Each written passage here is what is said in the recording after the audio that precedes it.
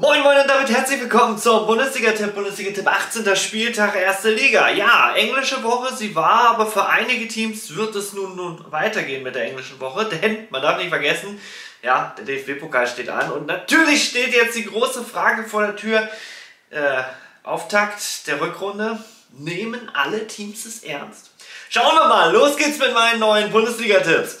Das Auftaktspiel, was am Freitag stattfinden wird, ist das Spiel zwischen RB Leipzig und dem VfB Stuttgart. Und Leipzig im letzten Spiel 6 zu 1 gewonnen gegen den FC Schalke.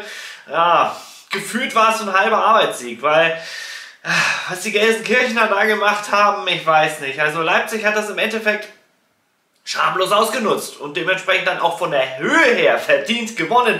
Ja, im zweiten Durchgang da hat man so ein bisschen gemerkt, dass da doch die Sicherheit der Leipziger, die äh, aus der ersten Halbzeit da waren, jetzt nicht mehr da war. Aber halb so wild, man hat deutlich geführt. Jetzt geht es gegen den VfB Stuttgart, die ja im letzten Spiel 2-2 unentschieden gespielt haben. Unglücklicherweise, ja, durch einen Torjubel oder besser gesagt mit Jubel ein Mann weniger geworden sind. Ja, Wer die Regeln kennt in der Bundesliga und weiß, was er machen darf ne, beim Jubel bzw. Nicht-Jubel ähm, oder mit Jubel, ne, der wird dann auch mit Gelb-Rot bestraft. Ja, das erinnert so ein bisschen an das WM-Spiel, wo Kamerun ja auch die gelb-rote Karte kassiert hat nach dem Tor.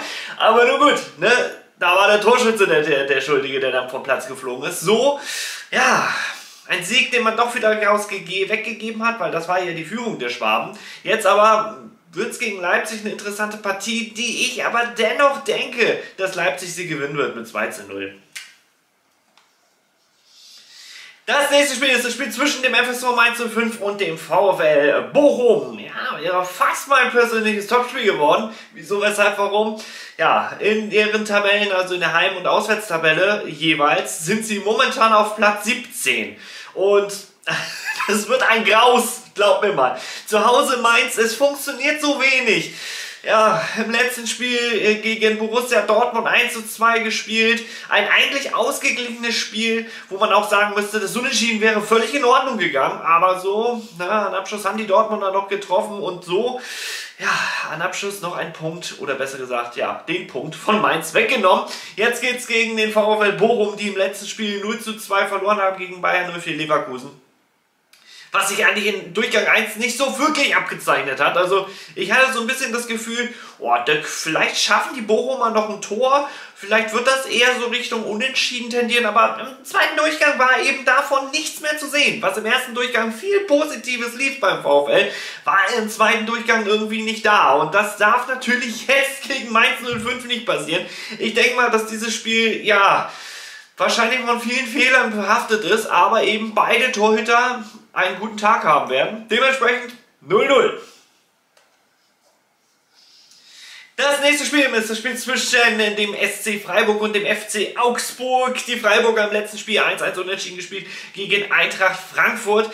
Ja, irgendwie gefühlt passe da so einiges nicht. Also diese Offensivität, die hat man in den letzten äh, Spieltagen, also vor der Winterpause, ja gesehen. Aber da war die Treffsicherheit eine höhere und das Teamplay ein besseres. Und daraus entstanden dann auch Tore. Das hat gegen Frankfurt irgendwie nicht so ganz funktioniert und deswegen gab es dann aus äh, Freiburger Sicht nur ein Unentschieden, wobei, ja, Sieg wäre gut und gerne drinne gewesen, so.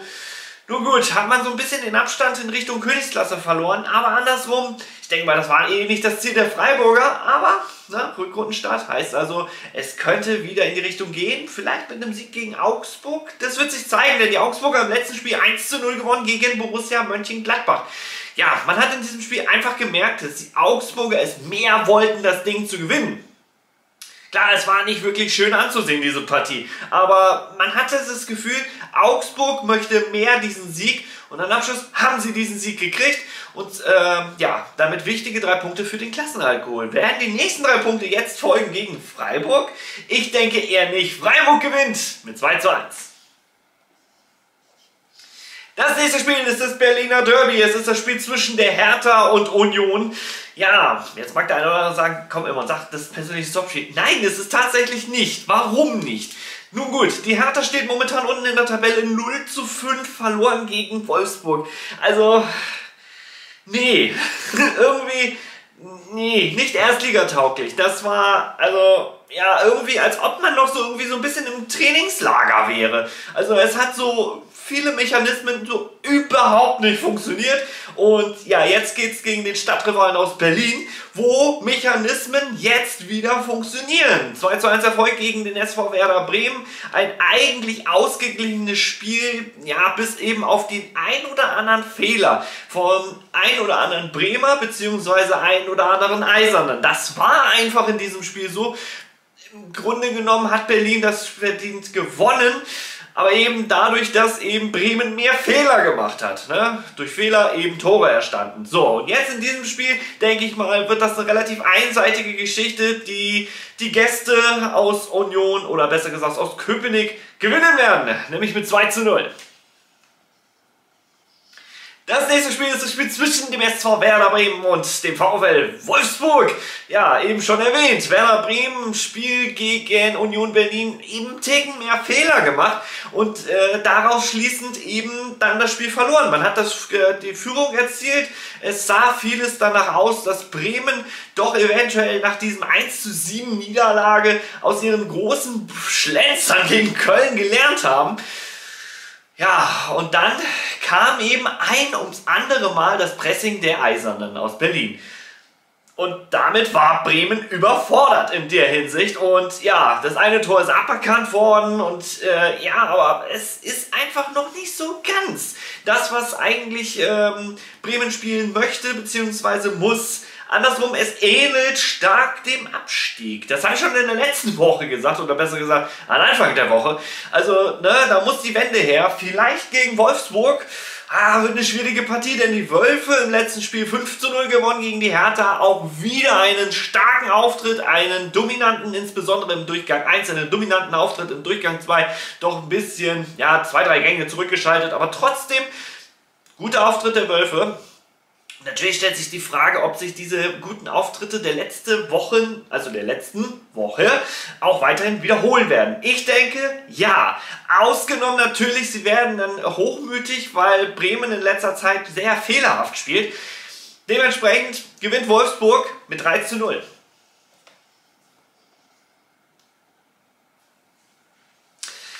Das nächste Spiel ist das Spiel zwischen der TSG 1899 Hoffenheim und Borussia Mönchengladbach. Ja, auch da war ich im Überlegen, ob es mein persönliches Topspiel wird, denn ei, beide momentan so ein bisschen in der Negativserie.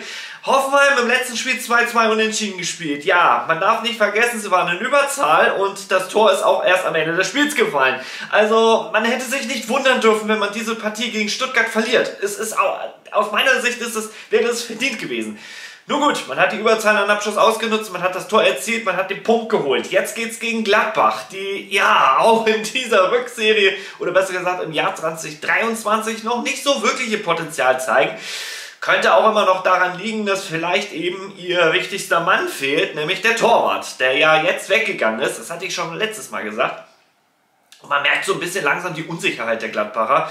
Und ähm, ja, da stellt sich natürlich die Frage, wann man diesen Negativtrend stoppen kann. Ich denke gegen Hoffenheim nicht. Dementsprechend Hoffenheim gewinnt mit 2 zu 1. Das nächste Spiel ist das Samstagabendspiel und ja, mein persönliches Topspiel. Es ist das Spiel zwischen dem FC Bayern München und der Eintracht aus Frankfurt und ja, die Münchner in den letzten beiden Spielen unentschieden gespielt. Im letzten Spiel also so mit Ach und Krach unentschieden gespielt. Man muss es so sagen. Also klar, Dominanz ja, es war eigentlich vieles so ein bisschen ähm, wie die Bayern halt so spielen. Das Problem war bloß das. Dieses Bayern-Spiel, was wir momentan sehen beim FC Bayern, ähnelt dem der Hinserie in dieser Saison. Und da haben die Bayern, ja, nichts mit der Tabellenführung zu tun gehabt. Also die große Frage ist natürlich die da, wie wird das dann jetzt bei den Münchnern weitergehen? Denn ja, der letzte Schuss, also der fast letzte Schuss des Spiels, ist dann doch für die Bayern reingegangen. Der Lucky Punch eben zum Ausgleich gegen Köln. Ähm, aus meiner Sicht definitiv zu wenig. Jetzt geht es gegen Frankfurt, die im letzten Spiel eben aus fast nichts viel gemacht haben. Man muss es so sagen. Also so wenig Chancen, wie die Frankfurter im Spiel gegen Freiburg hatten, und daraus ein Tor erzielt. ja, was willst, was willst du da mehr erwarten? Also klar, hatte ich ja eben schon erwähnt, Freiburg hätte dieses Spiel gewinnen müssen, ja, aber hey, aus Frankfurter Sicht ist das Spiel eigentlich gut gelaufen, man hat einen Punkt geholt. Und jetzt gegen die Bayern folgt der nächste Punkt. Ja, was? Ja, Tatsache, es wird nun entschieden, ein 1 zu 1. Tatsächlich, ich denke mal weiterhin, dass die Münchner so ein bisschen vor sich her straucheln und auch gegen Frankfurt nicht gewinnen. Klar, im Hinspiel gab es eine relativ deutliche Geschichte, aber äh, das Hinspiel ist schon ein bisschen lange her und das Team der Frankfurter ist definitiv deutlich besser jetzt eingespielt. Das nächste Spiel ist am Sonntag. Es ist das Spiel zwischen dem FC Schalke 04 und dem 1. FC Köln. Die Schalke haben im letzten Spiel 1 zu 6 verloren gegen Leipzig. Ja, das war komplette Überforderung im ersten Durchgang. Also dafür, dass sie eigentlich relativ gut gespielt haben gegen Frankfurt, hat mir das so überhaupt nicht gefallen gegen Leipzig. Man ist eigentlich mit, ähnlicher Bewusst mit ähnlichem Bewusstsein gegen Leipzig in diese Partie reingegangen aber es war ein ganz anderes Spiel. Also so viele, also so viel Überforderung, unfassbar. Wenn die Schalker so weitermachen, werden sie auf jeden Fall sogar als Letzter absteigen. Das müssen sie also dementsprechend abstellen. Vielleicht gegen Köln. Das wird sich zeigen, denn die Kölner haben bislang einen guten Auftritt in dieser 2023-Serie gemacht. Ne? Der hohen Auftaktsieg gegen Köln, der gegen äh, Werder Bremen. Im zweiten Spiel gegen Bayern München defensiv stabil gestanden. Klar, du hast kaum Chancen, du spielst gegen den Tabellenführer, da ist es oft schwierig. Ähm, Tore zu erzielen, aber hey, Köln hat das 1-0 erzielt, lange Zeit das Ding sogar geführt aber am Ende eben dann unglücklich unentschieden gespielt. Und jetzt stellt sich natürlich die Frage, ob man gegen Schalke vielleicht drei Punkte holt. Ich denke ja, am Ende sogar mit drei Punkten, äh, mit drei Toren. 3-1. Das nächste letzte Spiel des Spieltages findet statt zwischen Bayern 04 Leverkusen und der Borussia aus Dortmund. Ja, Leverkusen im letzten Spiel 2 zu 0 gewonnen gegen den VfL Bochum. Ja, es war so ein Arbeitssieg, wo man so sagen müsste, ja, Ne? Wenn die Bochumer den Ausgleich erzielen, dann wäre das vielleicht noch gekippt, das Spiel. Aber so, nee. Insbesondere im zweiten Durchgang ist es alles nach Plan gelaufen für die Werkself. Und ähm, natürlich stellt sich jetzt die Frage, ob auch dieser Plan gegen Dortmund funktioniert. Denn auch Dortmund im letzten Spiel mit dem Lucky Punch am Ende gegen den FSV Mainz 05 2 zu 1 gewonnen, aber auch da, ja, wie gesagt, Unentschieden wäre in Ordnung gewesen. Aber so, ne, aus Dortmunder Sicht, drei Punkte sind besser als einer. Und natürlich möchte man jetzt gegen Bayern 0 für Leverkusen die nächsten drei Punkte holen. Ich denke aber mal, das wird den Dortmunder nicht gelingen. Leverkusen gewinnt mit 2 zu 1. Das waren meine Tipps für diesen 18. Spieltag in der ersten Bundesliga. Ich hoffe, euch hat das Ganze gefallen. Natürlich gerne Like und Abo hier da lassen. Und äh, wir sehen uns hoffentlich dann zum kommenden Tipp wieder. Wenn ihr mögt, schaltet ein. Bis dahin eine gute Zeit und ciao.